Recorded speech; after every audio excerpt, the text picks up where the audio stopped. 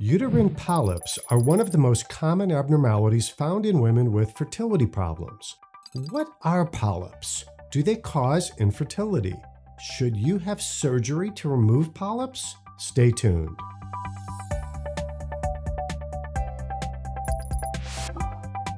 The uterus has three layers the outer surface, the muscle layer, and the uterine lining, which is called endometrium. Polyps are growths that arise from the endometrium. Nobody really knows why polyps occur in some women. Like normal endometrium, estrogen can make polyps grow larger. In some cases, polyps cause women to have abnormal vaginal bleeding. They may have periods that are heavier or longer, or they may have bleeding in between periods. Most women who have polyps, however, do not have any signs or symptoms. There is evidence that polyps are more common in women with fertility problems. Some studies have found polyps in 6% of women starting treatment with IVF. Another study found polyps in 16% of women with multiple failed IVF cycles. How do polyps cause fertility problems? We really don't know. There may be several different ways that polyps cause fertility problems there are three factors that seem to be important. One, the size of the polyp. The larger the polyp, the greater its impact on fertility. Two, the location of the polyp.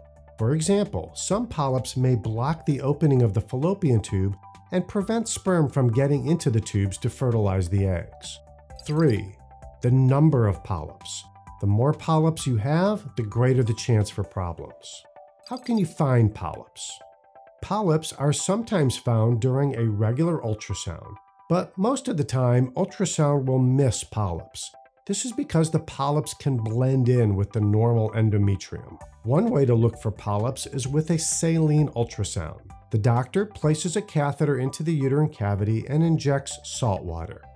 The fluid opens up the walls of the cavity. This isolates the polyp, making it easier to see.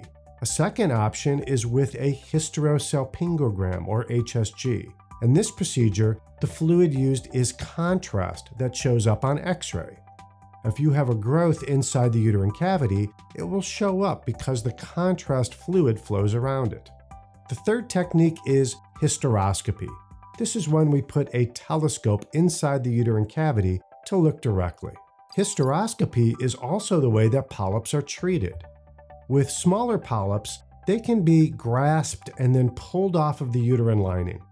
With larger polyps, electrical instruments can be used to resect the polyps in strips. Once a polyp is completely removed, it will not return, but new polyps can grow at a later time. It is difficult to do studies on the effectiveness of polyp removal. To prove that polyp removal is effective, you would like to have two groups of women. One group would undergo polyp removal and one group would not. These are difficult studies to do since nobody wants to participate in a study in which a potential abnormality is not treated.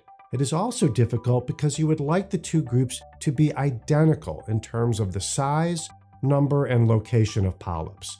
This is really difficult to accomplish. Given these limitations, we do have studies that polyp removal can help.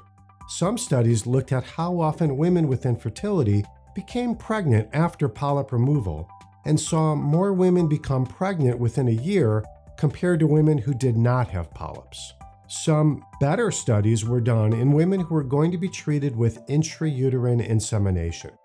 They split women with polyps into two groups. One group had polyp removal and one didn't. The two studies found that the pregnancy rates were higher in women who had polyp removal there have been several studies on polyp removal in women undergoing IVF. The evidence here is a bit mixed. Some studies showed a benefit to polyp removal, but some studies did not. Despite the lack of definite proof, however, most IVF experts will recommend polyp removal to their patients before embryo transfer. In addition to hosting Infertility TV, I am a practicing physician. If you would like to have a video consultation with me, check out my website at ivf1.com. Don't forget to subscribe to Infertility TV. It's like having a fertility specialist in your phone.